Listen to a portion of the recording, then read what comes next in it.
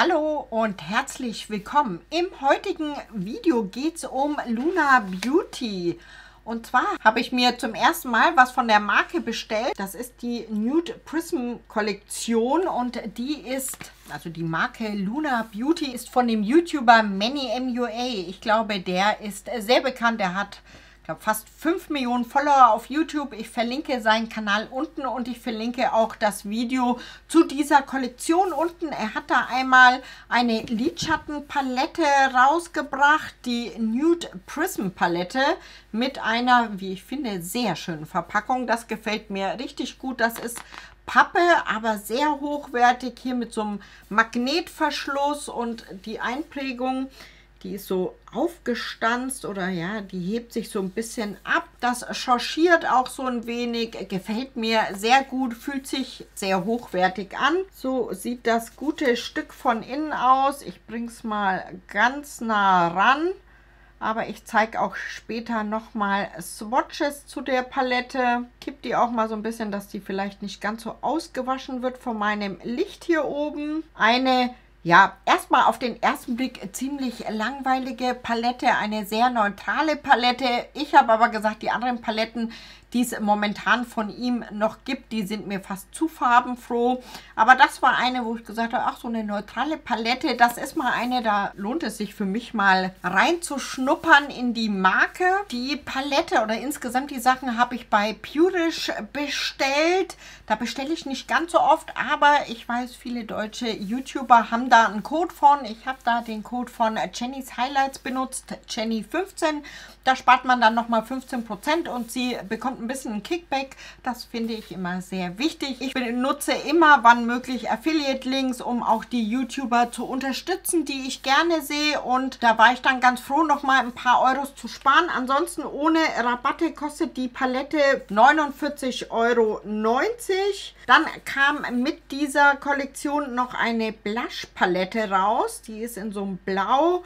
Das finde ich auch wunderschön. Gefällt mir sehr gut, dadurch, dass das so ein bisschen absteht und so ein bisschen Glanz mit drin hat. Wirkt das sehr schön. Die Produkte sind made in China und da ist eine 12 Monate Haltbarkeit angegeben und auch bei der Lidschattenpalette, da hat man insgesamt 25,56 Gramm und hier hat man 27,24 Gramm mit drin.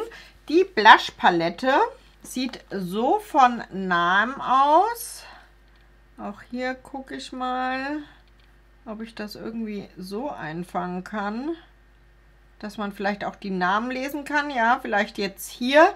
Die kostet 35,90 Euro ohne Rabatt. Wie gesagt, man kann da auf jeden Fall 15% drauf bekommen. Und ja, das sind auch sehr schöne neutrale Töne. Hier an der Seite nochmal so ein kräftiges Pink und auch ein kräftiger Orangeton.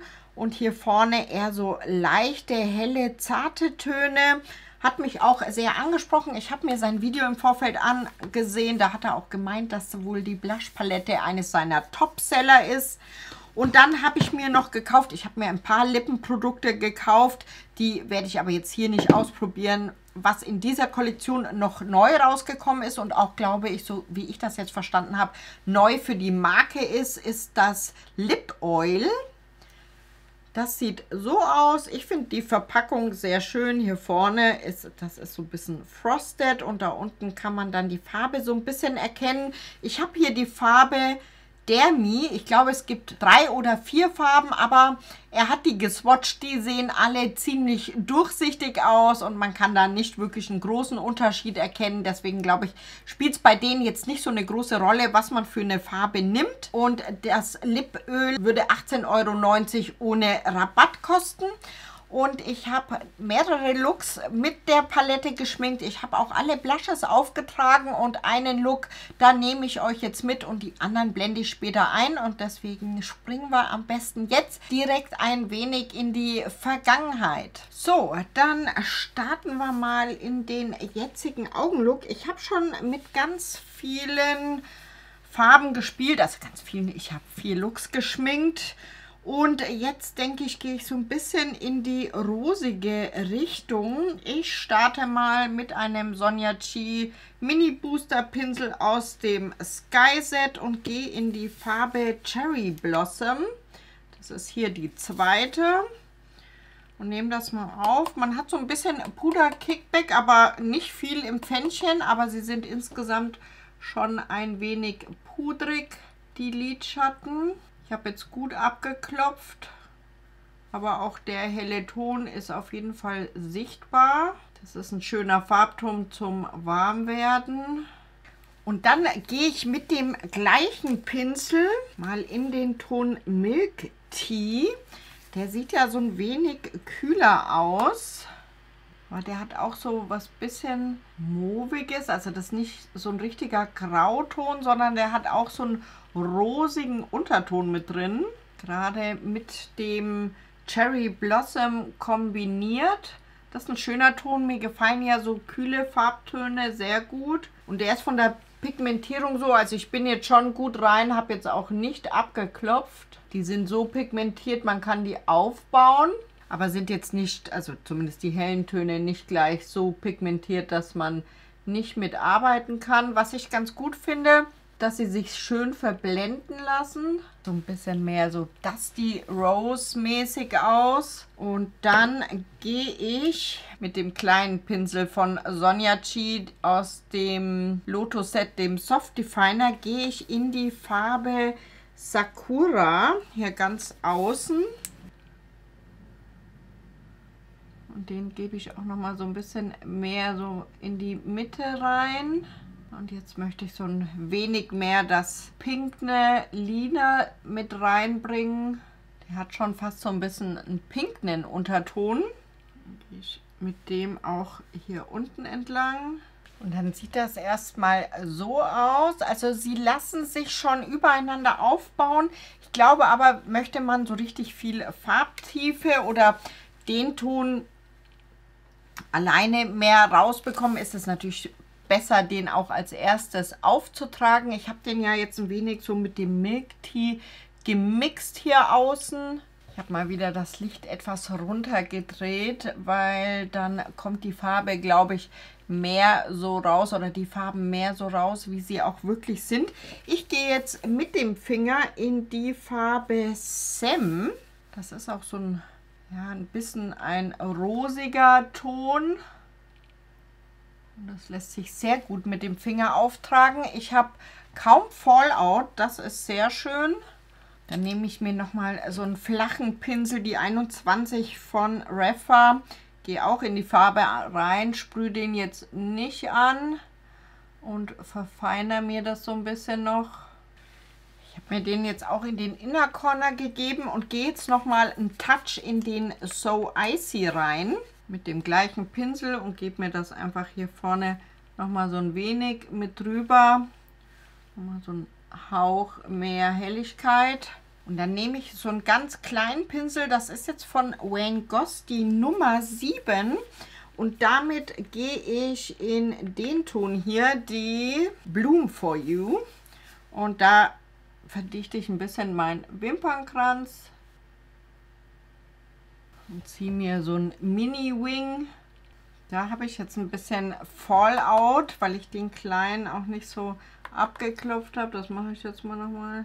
Dann wäre das mein fertiger Look. Die Eyeliner, der auf der Seite hier ist mir so ein bisschen durcheinander geraten und ein bisschen dicker, aber da mache ich mir immer nicht viel Kopf drum. Ich mache jetzt meine Mascara drauf, verdichte mir ein bisschen den Wimpernkranz und dann sehen wir uns gleich wieder für die Blushes. So, dann ist das jetzt der fertige Look. Ich habe nur Mascara drauf gemacht und ein bisschen was von dem Multichrom Eyeliner von Danessa Myrix in die Wasserlinie. Der so ein bisschen pinknen Shift mit drin. Das gefällt mir ganz gut.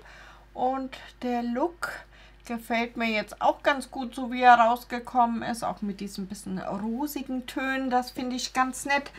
Jetzt probiere ich nochmal zwei der Blushes aus, die ich noch nicht probiert habe. Ich hatte mit den anderen Looks jeweils schon immer Blushes und habe da leider die Pinknen die jetzt ja sehr gut passen würden, schon benutzt. Also mir sind nur noch die nudigen übrig. Ich gehe als erstes mal in die Farbe Beauty und nehme da etwas auf den Pinsel. Ich habe keinen Bronzer und nichts drauf. Ja, und das ist so ein bisschen mehr ins Peach gehende. Blushton. Baue den auch mal etwas auf, damit man den auch gut sehen kann. Wie gesagt, passt jetzt überhaupt nicht zum Augenlook. Da hätte ich mal zwei Sekunden drüber nachdenken können. Das ist ein sehr schöner Ton. Das ist für mich auch so eine sehr schöne Alltagsfarbe. Ich mag auch gerne so ein bisschen nudig peachige Blushes. Und ich wische mir den Pinsel ab. Das ist der Soft Cheek von Sonja Chi und gehe in die Farbe Say Say rein.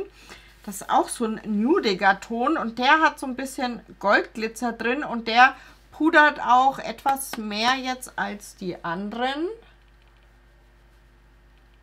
Der ist jetzt auch sehr soft pigmentiert. Also da konnte ich jetzt schon, ich habe den Pinsel richtig reingelegt und nicht abgeklopft. Das ist ein sehr softer Blush. Man kann ihn etwas aufbauen, das habe ich jetzt gemacht, aber ich habe jetzt auch viel Produkt verwendet. Von dem Glitzer kann ich nichts erkennen. Was ich aber erkennen kann, dass das Puder ein sehr schönes Hautbild macht. Also das gefällt mir richtig gut. Die Formulierung von den Blushes finde ich sehr schön. Das sind jetzt die zwei Farben. Einmal die Farbe Beauty und Say Say. Sehr schön. Die gefallen mir gut. Ich mache jetzt einfach, um das so ein wenig anzupassen, ich gehe jetzt auch mit demselben Pinsel ein bisschen in die Farbe hier rein in die Pink Prince. Gebe mir das einfach noch mal so ein wenig hier mit drüber. Mal schauen, was passiert. Das weiß ich jetzt nicht, ob das die beste Idee war. Ich glaube, bei dem hier drüben, da geht es auf jeden Fall besser. Ein bisschen Kühle mit reinzubringen. So ein Hauch haben wir da jetzt. Was mir sehr gut gefällt, egal wie sehr ich die jetzt stapel, eigentlich sieht meine Haut fast immer noch besser aus, anstatt schlechter. Also das ist richtig schön. Und dann, wenn wir schon so nah dran sind, probiere ich noch das Lippenöl aus. Das hat er auch, glaube ich, in drei oder in vier Farben rausgebracht. Aber ich habe mir sein Video angesehen und die Farben sind alle so ja, durchscheinend, dass es im Grunde, glaube ich, nicht wirklich einen Unterschied macht, welche Farbe man möchte. Er meinte, das war jetzt so sein erster Step in so ein Lippenprodukt, was auch Pflege mit drin hat. So ein bisschen Skincare und da wollte er erstmal so leichte Farben. Sollten die aber gut ankommen und mehr Farbe gewünscht sein, dann würde er das auch machen. Ich habe jetzt die Farbe Dermi. Die riechen wohl alle ein bisschen anders. Und ich habe aber heute so eine zune Nase. Ich rieche gar nichts, ich rieche was Fruchtiges. Aber ich könnte jetzt gar nicht sagen, was es ist. Ich swatch den mal kurz auf meiner Hand. Und da sieht man, ja, da ist so ein leichter, ganz leichter Rosé-Tint drin, aber im Prinzip nicht zu erkennen. Das ist auch heute genau das Richtige für meine Lippen, weil die schon wieder überall aufplatzen so einen leichten, süßlichen Geschmack nehme ich wahr, aber jetzt ganz soft, nichts, was mich jetzt stört. Das gefällt mir ganz gut. Das hat so richtig Glanz, fast so, als wäre so ein bisschen was Metallisches da mit drin. Fühlt sich gut an, fühlt sich pflegend an. Das ist genau das, was ich gerne trage, wenn meine Lippen so trocken sind. Bei Lipöl ist es so, die trage ich oftmals auch gerne alleine, weil die sich nicht immer so gut mit Lippenstiften darunter vertragen. Manchmal lösen die auch die Lippenstifte aus. Deswegen würde ich mir da fast wünschen, dass er da doch nochmal mit welchen rauskommt, die etwas mehr Farbtiefe haben. Ansonsten ist es halt so ein heller, fast metallischer Glanz da mit drin. Fühlt sich aber im ersten Moment mal ganz gut an. So, dann ist jetzt das der Look von Weitem. Ich musste meine Ohrringe rausnehmen. Ich bin da gerade an einem so hängen geblieben. Aua. Deswegen musste ich die gerade mal rausnehmen. Ich habe jetzt von dem hellen Blush, also diesen nudigen, dem Say, den habe ich jetzt auch noch etwas über meine Stirn gegeben, weil ich keinen Bronzer drauf habe, um noch ein wenig Wärme in mein Gesicht zu bringen. Und ich finde, das klappt bei meiner hellen Haut wunderbar. Das sieht gut aus. Der ist nicht zu peachig, dass es irgendwie ja so ganz komisch aussieht. Ich kann da so ein bisschen Glanz erkennen in dem Farbton. Der ist auch etwas staubiger als die anderen. Also der, der fühlt sich etwas rauer an. Das ist aber wahrscheinlich auch wegen diesen kleinen Glitzerpartikeln drin. Stört mich jetzt aber nicht. Also kann jetzt die Glitzerpartikel auch auf so eine normale Distanz nicht erkennen. Ich gehe mal hier direkt auf die Seite, weil dann kann ich hier auch nochmal die Looks einblenden, die ich mit der Palette geschminkt habe.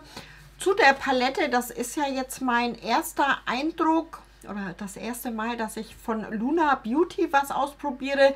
Sie hatten ja diese ganz berühmte, ich glaube, Moonspell Volume 1, wenn ich mich richtig erinnere. Die war ja sehr gehypt und da haben ganz viele von geschwärmt. Die habe ich irgendwie verpasst. Als ich sie dann wollte, war sie ausverkauft. Bei der zweiten Palette, da hat mir das Farbschema nicht gefallen. Da habe ich auch gehört, dass die Qualität nicht ganz so gut gewesen sein soll, wie jetzt zum Beispiel bei der ersten. Das kann ich natürlich jetzt insgesamt gar nicht beurteilen, weil es meine erste Palette ist.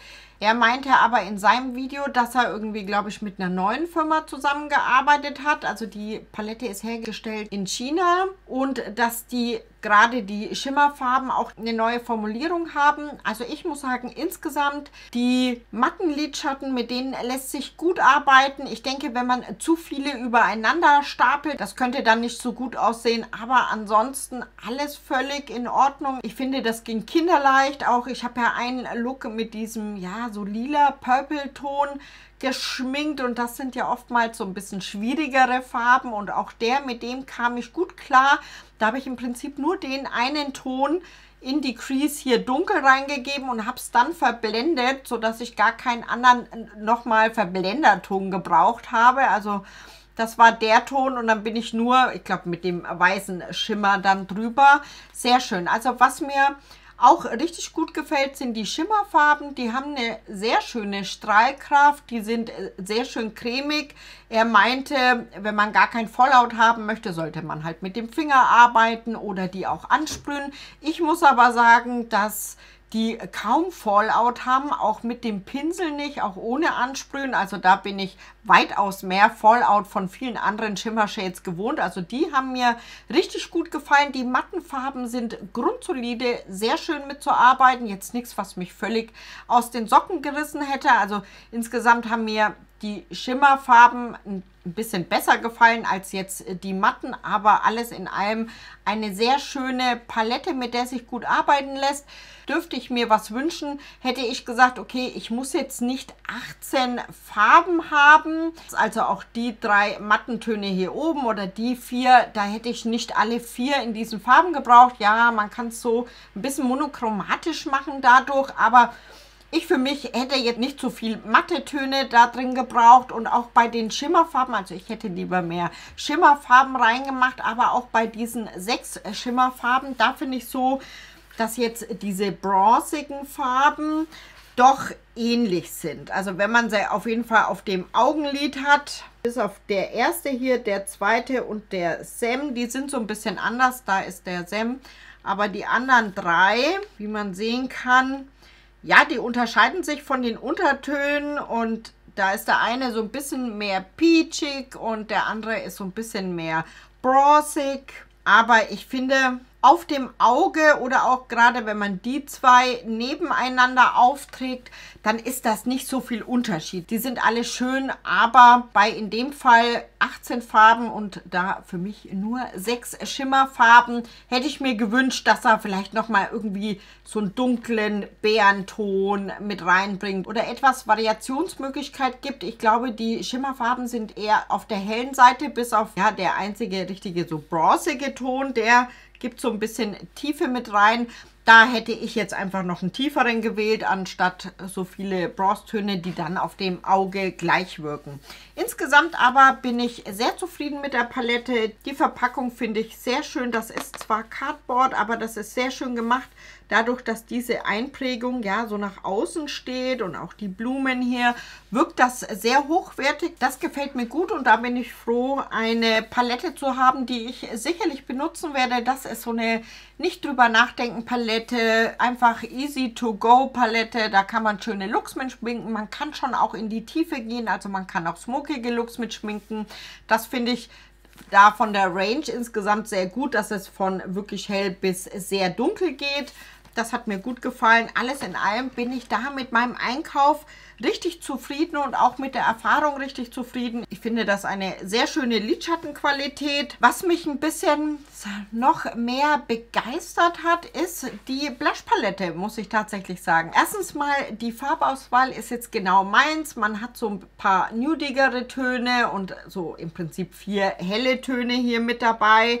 Und man hat dann nochmal zwei so kräftige Farben. Einmal Pink, einmal Peach. Da ist für mich alles dabei, was mein Herz begehrt. Auch gerade die helleren Farben sind für meine helle Haut für auf die Schnelle sehr schön bei den helleren Farben. Also die sind insgesamt auch soft pigmentiert. Also kann man ganz soft auftragen. Aber sie lassen sich auch aufbauen. Die zwei hier unten, die waren auf meiner Haut schon ziemlich gut pigmentiert. Da muss ich auch nicht aufbauen. Aber die kann man auch aufbauen. Das sind jetzt matt matte Blushes, auch so einfache, nicht drüber nachdenken Blushes. Sehr schön, die gefallen mir richtig gut. Sehr schöne Konsistenz, sehr schöne Farben. Er hat ja schon eine erste Blush-Palette, da meinte er, das war schon der volle Bestseller. Wenn das die gleiche Formulierung ist, kann ich mir das gut vorstellen. Für mich sind das die idealen Farben, weil ich die Farben auch sehr gerne mag. Deswegen bin ich super zufrieden, dass ich die mir gekauft habe und die werde ich sicherlich öfter nutzen. Auch hier